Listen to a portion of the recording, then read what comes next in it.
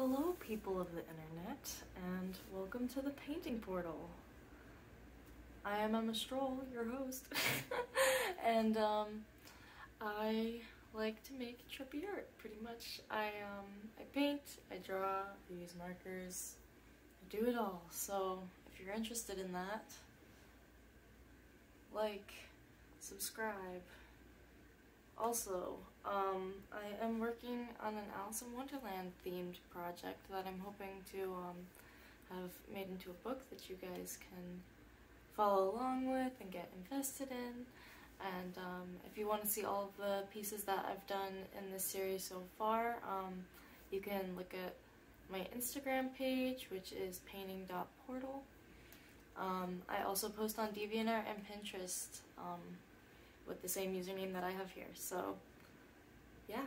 Um, additionally, I do have an Etsy shop if you guys would like to purchase any um, original artwork that I come out with. I'm going to be, um, you know, updating that as much as possible. And yeah, so if you like to support small artists and you like artwork, head over there. There will be a link in the description.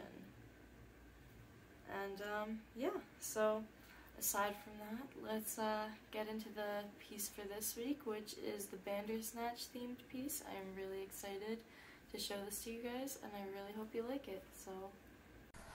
Alright, so jumping right into my first YouTube video ever. I'm so excited. Oh my god.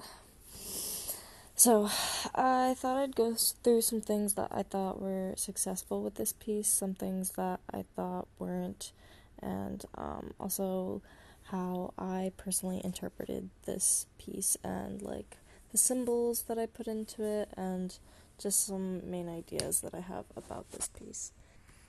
Okay, so we'll start with the hair. I really loved the fur that I did on this creature personally.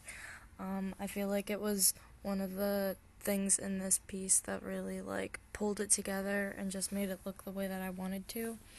Um, when sketching this design out, it's something that I really struggled with just because uh, I don't know, it was doing the patterns seemed really difficult with um, the different poses that I was trying and I was trying all different types of patterns, but I feel like the checkers just really suited this the best and really um, ties in with the other pieces much better. So, yeah. I also feel like I should say that um, I really like to start with um, putting the blacks in the piece just because I feel like getting your darkest values in first allows you to select your other colors around that if you don't have um, an exact plan because doing colors was something that I really struggled with in this piece. Let me know what you guys think about the color selection that I chose. Um, you'll see in a couple minutes the the clothing. I it was one thing that I really struggled with. Um, also, as a side note, my markers were dying, so I didn't have my normal color selection that I would get to, so that kind of sucked. I have to hit the store again. I just bought a bunch of new markers, but I didn't buy the right colors, so gonna have to give that another whirl. but yeah, I feel like putting the texture in this fur is just really satisfying to watch. I don't know why, but it was fun to draw too because once I had my sketch done, it was really just a matter of filling in those dark areas. Um, I did have to add some extra lines and stuff to kind of um, compensate for where my sketch rubbed off when I transferred the image onto the, the marker paper. But yeah, I think overall the fur in this piece just came out really nice. Additionally, while I was doing this, um, just like as a side note for the pattern, if you're trying to do something similar, I um, I just made sure to make all of the black parts of the um, pattern separate from the white parts, even if there were two um, pieces of black hair that were supposed to be next to each other, like on the ear and the jaw, or on the hooves too. Um, the hooves, I think I could have done a little bit better, but I honestly don't have a lot of experience drawing animals, so I think doing this um, was a big challenge in and of itself. But I wish I did push myself a little bit harder on those hooves.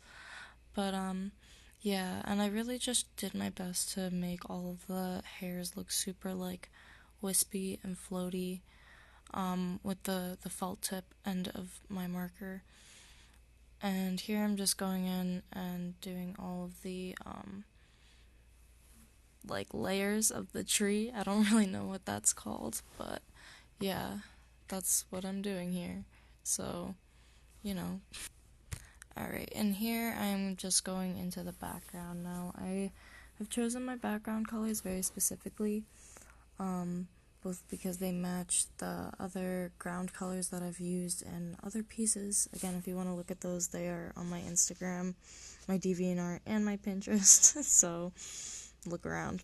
But um, I chose these specific warm colors um, to such a drastic degree in this piece because I wanted it to almost feel like fiery. I don't know if that makes sense, but I wanted it to feel like very destructive, a little bit like chaotic. And when there's a lot of bright colors, especially on like a background element like the ground, um, it can make things look very like I don't know, um, jumbled, you know, and disorganized, like chaotic. And here's where my orange marker ran out.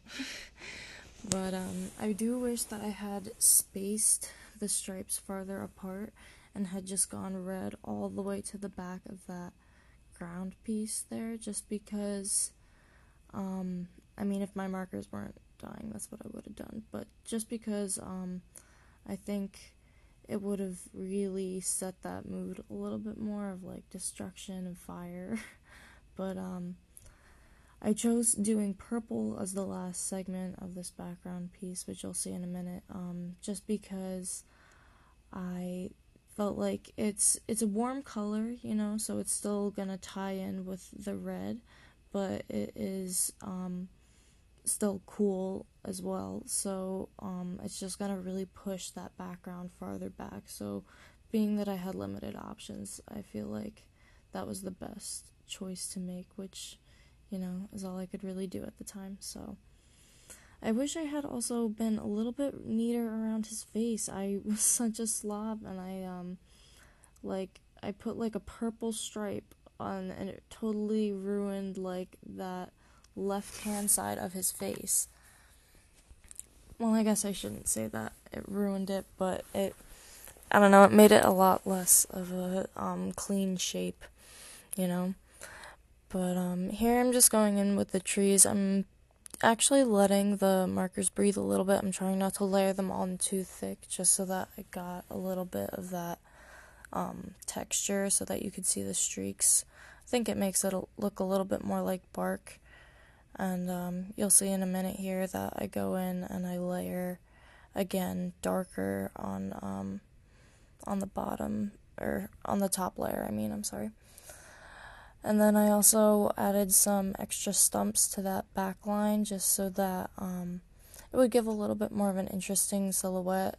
Um, if you've seen some of my other pieces, you'll see that normally I do like a green kind of like slimy goo looking thing. Um, that's like an abstraction of a tree line, and I kind of did that here, but they were all cut down and it makes it a little sad.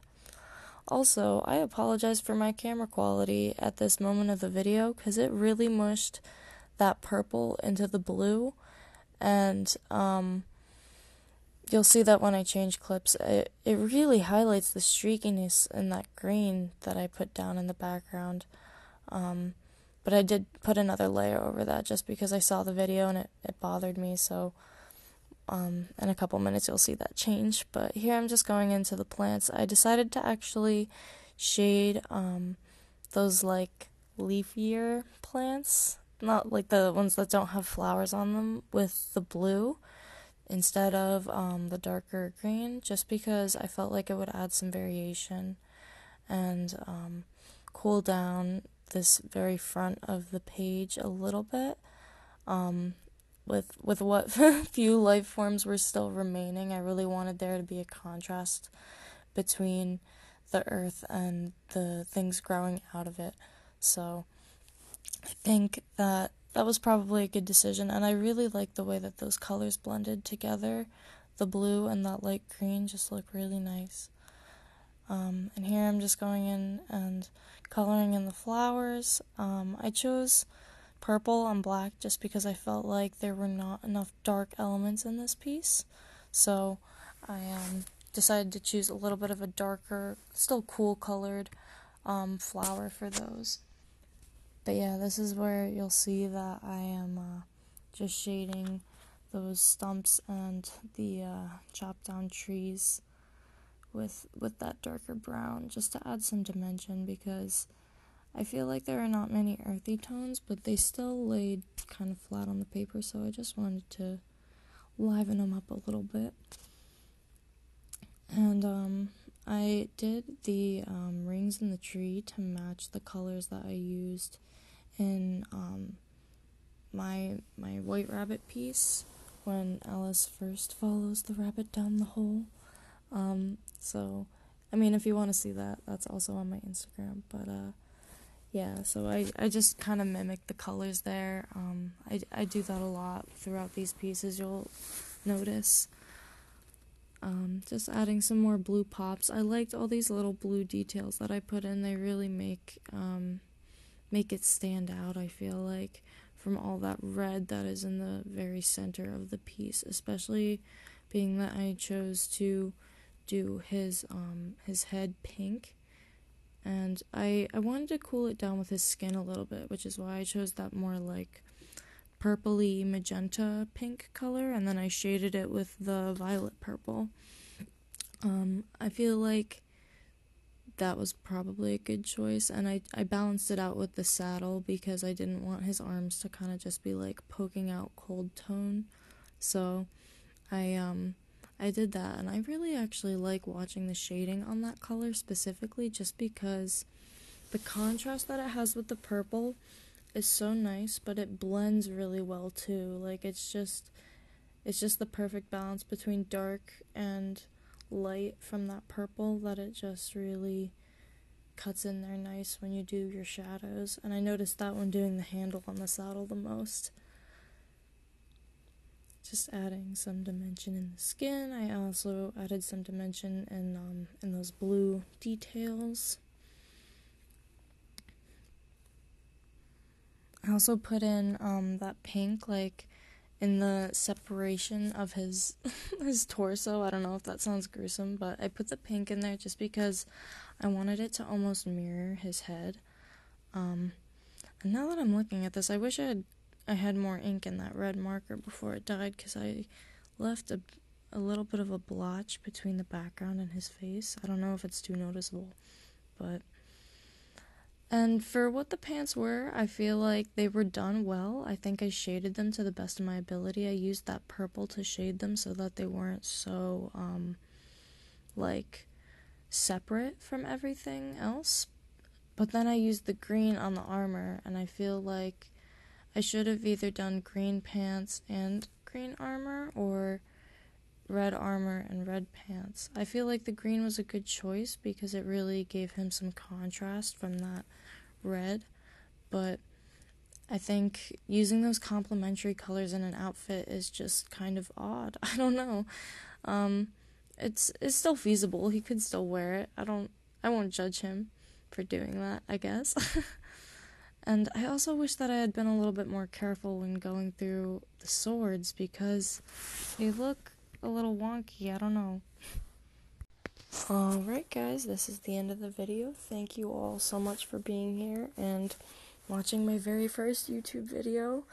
It really means a lot to me. Um, you know, and if you want to see any of my other work, um, follow me on Instagram. I have a Pinterest and I also have a DeviantArt um, all with the names Painting Portal. Um, Instagram is painting.portal. So thank you guys so much. Have a good day.